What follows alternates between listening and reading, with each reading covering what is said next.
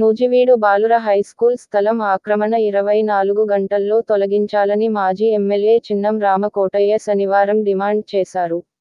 బాలుర హైస్కూల్ స్థలం ఐదు కోట్లు విలువ చేసే స్థలం ఆక్రమణ జరిగితే ప్రభుత్వ యంత్రాంగం మరియు నాయకులు ఏం చేశారని చిన్నం రామకోటయ్య ప్రశ్నించారు. ఎస్ఆర్ఆర్ హై స్కూల్ చాలా పురాతనమైంది. మరి దీనికి చాలా పెద్ద భూమి ఉంది. వాళ్ళ పట్టణం నడిబొడ్డునుంది ఈ భూమి ఇంత విలువైన భూమి. ఆక్రమణకు గురవుతుందని తెలిసి ఆ ఆక్రమణ చూపించడానికి మిమ్మల్ని అందరినీ నేను ఇక్కడ రమ్మని కోరడం జరిగింది. మీ కళ్ళ ముందే చూడండి ఇది హై స్కూల్ కూడా మేము కూడా ఇక్కడే చదువుకున్నాం ఇదే ప్రాంగణంలో.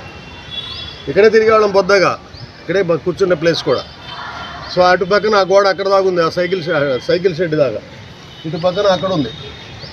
ఈ భూమి ఇట్లా వంకరుందని చెప్పి అవతల భూములు ఎవరో మరి? మనకు తెలియదు ఎవరో. దాదాపు రెండు వందల యాభై నుంచి నాలుగు వందల గజాలు కలుపుకోవడం జరిగింది. ఈ భూమిలో నాకు తెలిసి ఐదు కోట్ల రూపాయల భూమి. ఐదు కోట్ల విలువైన భూమి నూజివీడు పట్టణం నడిబొడ్డులో ఆక్రమణకు గురి అయింది.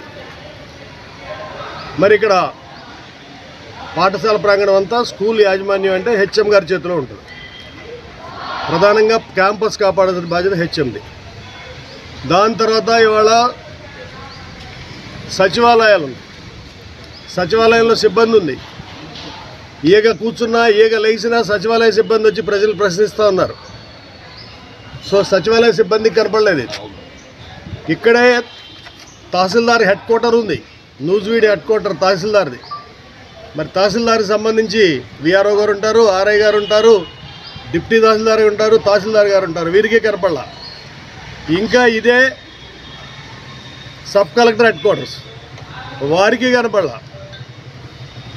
సో ఇంకెక్కడున్న నాయకులకి కనపడటానికి మరి ఎవరి హస్తం ఉందో మనకు తెలియదు లోతుకెళ్తే కానీ తెలుస్తుంది. పలానా వాళ్ళని మనం చెప్పలేము ఇప్పుడే. సో కాపాడాల్సిన వాళ్ళంతా కనిపించట్లేదు. ఇప్పుడే నేను ప్రాంగణంలోకి వస్తాంటే తహసీల్దార్ గారు గారు బయటికి వెళ్తాను. నేను అడిగితే ఎగ్జామ్ కోసం వచ్చారన్నారు. దేనికోసం వచ్చినా లోన్కి వచ్చాక చుట్టూ కళ్ళు ఉండాలి చూడాలి. సో ఇది ఇక్కడున్న ప్రభుత్వ వ్యవస్థ పనితీరు దీనికి ప్రభుత్వ వ్యవస్థ పూర్తిగా బాధ్యత వహించాలి. ఇరవై నాలుగు గంటల్లో ఈ ఆక్రమణ తొలగించాలి.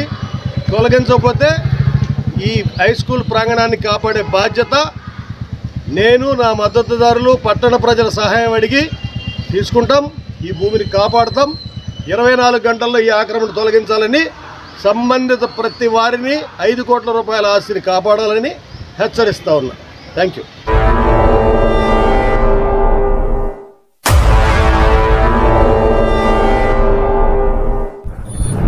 ప్రజా టీవీ ప్రజాపక్షం ప్రజల కోసం మీ సమస్యను ప్రజా టీవీకి తెలపండి.